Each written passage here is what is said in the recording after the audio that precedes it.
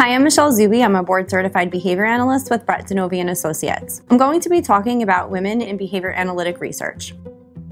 Gender issues have been a source of contention for many years. However, in light of recent political turmoils, the topic of gender inequality has become even more of a hot button issue. The field of behavior analysis through the Association for Behavior Analysis International, or ABAI, has adopted a diversity policy to ensure the rights of all members. And while we look towards a field in which all members are represented equally, it is important to look at the research to see how we are doing in terms of reaching that goal.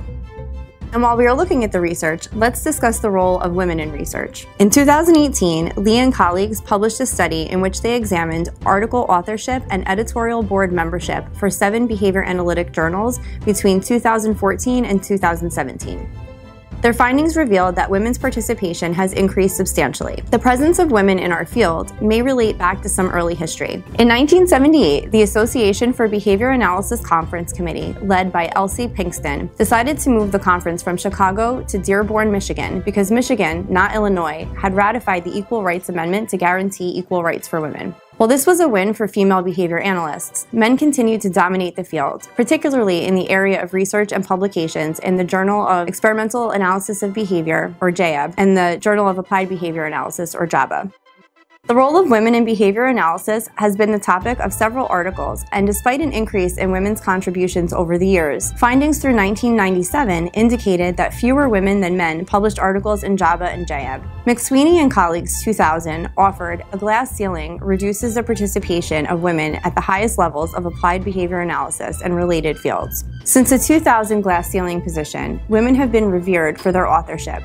For example, the behavior analyst published a section devoted to women who collectively published 682 journal articles, books, and book chapters. It included Judy Favell, Linda LeBlanc, Frances McSweeney, Anna Petursdottir, Carol Pilgrim, Beth Sulzer Azaroff, and Bridget Taylor.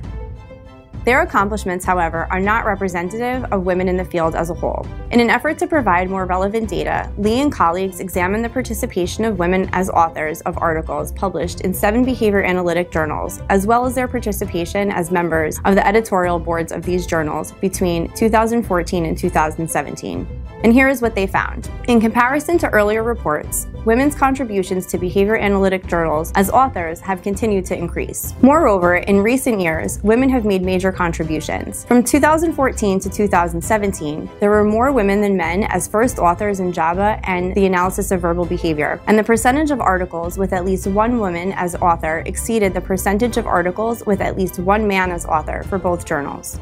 Women's roles in publication and editing have also been on the rise. The percentage of JABA and JEAB editors who were women between 2014 and 2017 has more than doubled since the year 2000. Across all journals, the mean number of women editors was just slightly below the mean number of first authors who were women. Single author articles remain lower, which, as suggested by Rudman in 1998, may be due to women being less likely than men to work alone or to self promote. Their findings across journals revealed that women averaged 43% of author contributions and 38% of editor contributions. Women represent 88% of BCBA certificates, yet women are substantially underrepresented as both authors and editors. It is hypothesized that this may be due to lifestyle choices related to work-home balance. Some things we can do as a field is to organize more women's conferences, address the needs of women using behavior analytic interventions, and promote the work of females in leadership. Both the field of behavior analysis and women working in the field have made monumental strides towards achieving equality. The contributions we have made are significant and will continue to grow, but there is still so much work to be done to improve the lives of all of our colleagues in the community at large. Thank you for watching. Please spread the science, comment below, and subscribe to our channel.